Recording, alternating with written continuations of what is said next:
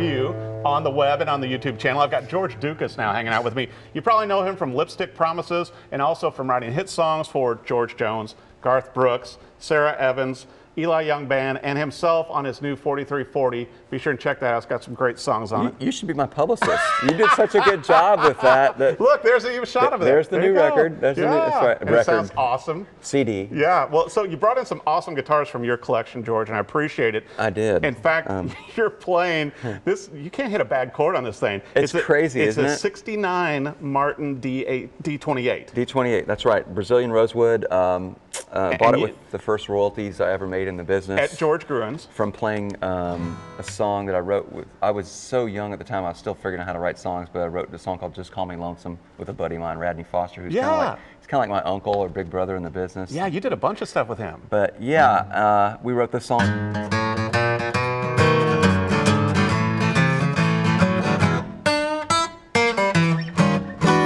So that's the riff. That is but, uh, It was a song back in like '93. I just moved to town, and uh, From Texas. yeah, from Texas. So out of that money, I bought this guitar, just, and uh, it's just been a, a keepsake. Oh my gosh, it sounds incredible. And even though it's had like a broken headstock from when you were on a, on a news show, Right. Uh, it got fixed up, still plays and sounds great. You're still writing songs on it. It just doesn't tour with you anymore. Yeah, I don't. I don't take it out on the road anymore. I take a, a newer D28 with me now. So um, that actually, the, the, the television station gave me the newer.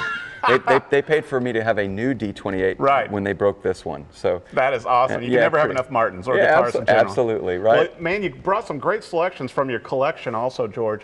And we're going to start off talking about the, the Buck Owens. The Buck Owens is uh, just a, a real sentimental piece. Um, I met Buck on many occasions back when he was alive, and he was a um, he was a hero of mine musically, and and and a little bit of a mentor in his later years. I met him probably the last two or three years of his of his life, and. Uh, Met him on, on radio tours on a couple of occasions Wow. um, when I was touring, you know, doing radio tours to introduce the, my, my records when I was on Capitol.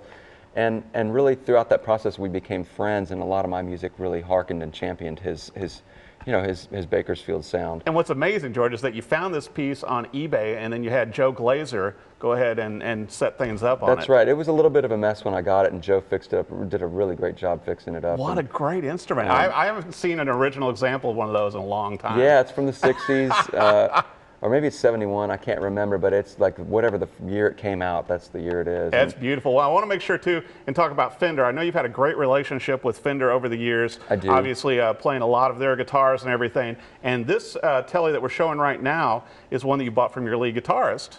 Joe Cook. That's right. Right. I bought it from my lead guitarist when I didn't. Uh, I didn't have a telly in town, and we were supposed to play the Opry. so um, Fender has been a, has been a. Uh, I'm a. I'm a huge Fender guy, and, and they've been really supportive of me and my touring, particularly down in Texas. Yeah. Um, the last several years, and uh, um, but I, I needed a guitar for the Opry, and uh, Joe, my, my buddy and lead guitar player, let me borrow his, and he's. It's a he's, great one. He's got- dolled it all up. Yeah, it's got the rosewood neck. It's got the Kluson tuners. It's had the uh, the neck pickup changed. I think the neck pickup is original, but the bridge has the Seymour Duncan. That's right. and the binding on the body. And I mean, that that looks awesome. That fits the Opry well. It does. It really does. I, I couldn't. I couldn't go on there with a Strat or, No. or, or, you know, Yeah. uh, it just didn't seem right. So anyway, um, I, I- I wound up buying it from him. Yeah. And uh, just because it, I it think that was a smart move. It became a real sentimental piece too, and and. Um, he, he fortunately he updated me with what all he's done to- with what all he's done to the Yeah. guitar, which you aptly yeah, which you aptly went over. Well, you know, uh, you brought another great piece with you that you use a lot. Now, you use this one on the road some now? I do some sometimes. Um, like if I'm leaving from Nashville, I'll take that one as my acoustic. If I'm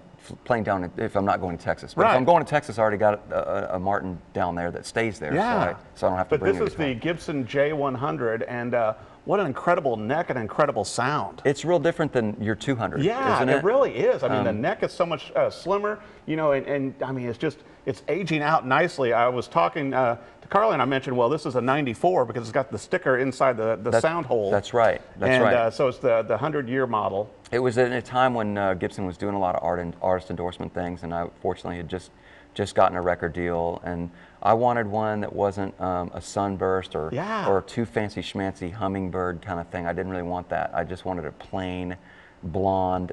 uh, You know, I just like I like it. I like I- them. I'll ta- tell I you like what. them tall and blonde. but like, and your guitars too. yeah, right.